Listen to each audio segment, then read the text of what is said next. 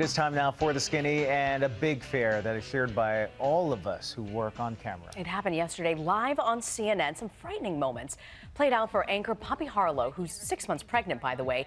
She apparently fainted while reporting on a story about America's war on ISIS. Bad news for the Obama administration.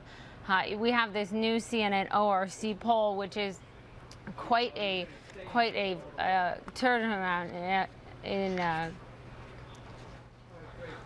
hard to listen to. It is, uh, absolutely. The network, by the way, quickly cut to a commercial while the Twitterverse exploded over the news, but Harlow was back relatively quickly, reassuring viewers.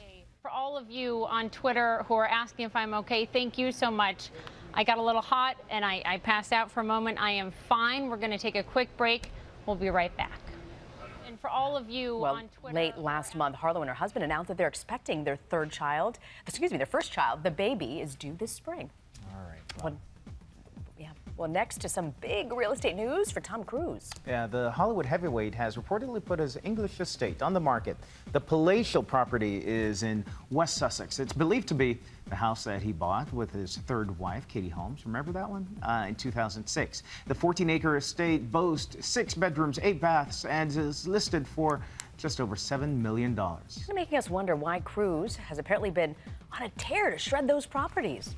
Last year, he sold his Hollywood Hills mansion at a loss for $11 million, and he's put his Beverly Hills home on the market for 50 million. Hmm. There's also his 300-acre Colorado compound for $59 million. So where's he living now, the days then? He's selling all these houses. Yeah. All right. Maybe in another house. Yes.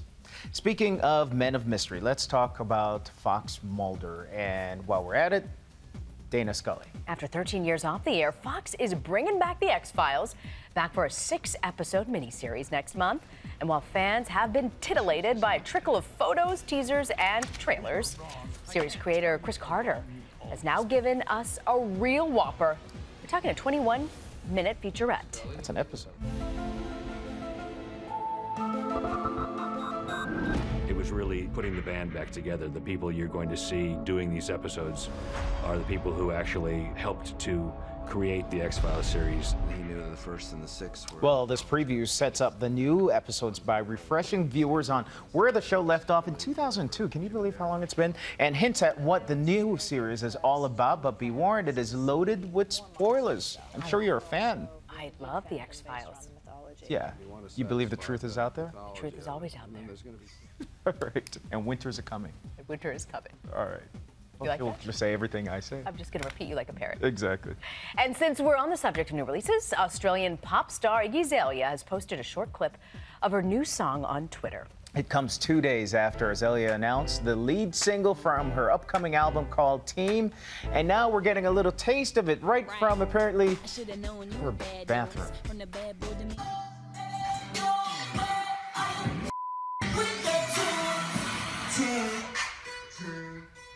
Azalea hasn't said when the song will be released, only that it won't be released in January and that it won't be available on iTunes, but on SoundCloud, YouTube, and other online platforms. So take that, Steve Jobs. What's that about, huh? Uh, no, but you know, when most of us sing in the bathroom, uh -huh. it's it's not the sort of songs that you want anybody else to hear. And dare I say it, it kind of sounds like that with Iggy's song here. what? At least right now. Really? See, I think she's always great. I look forward to this. I was in the Apple store, by the way, on the weekend, and I have to say, Taylor Swift, she had that little dust up with Apple, and then they patched things up. She's everywhere in eh, Apple. All over Apple. Right? Okay. It's fun to watch. No more bad blood.